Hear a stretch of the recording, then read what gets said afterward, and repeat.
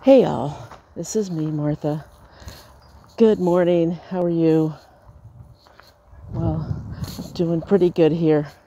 Um, just wanted to say, hey, I'm out, out on a little small walk. As you know, I can't really walk that far.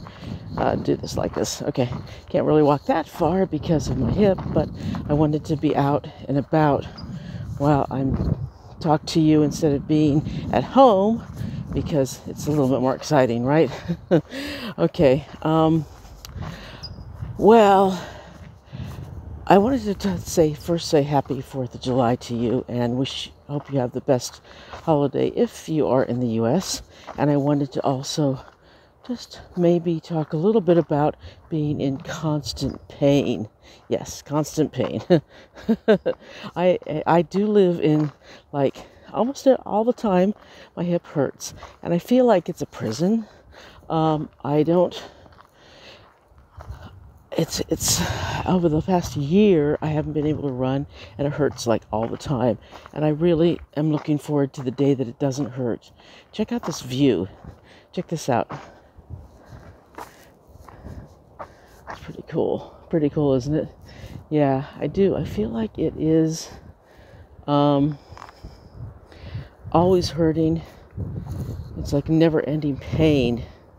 And sometimes, I mean, when I sit, it doesn't really hurt.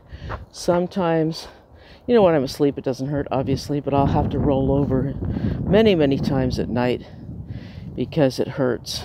It's cold out here. This is Land's End. Uh, Sutro Baths is here uh, Seal Rock, what we used to call bird shit rock out there.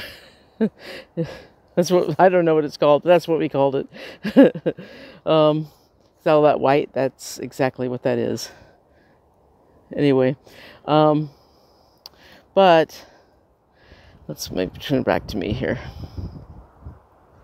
Um, yeah, it's um it's not easy living like this. It's not easy living with intense pain all the time. And I've been trying to do it. Been trying to have a stiff up, upper lip. But I know it's going to change, and I know things are going to be different, and I know that eventually the pain is going to go away.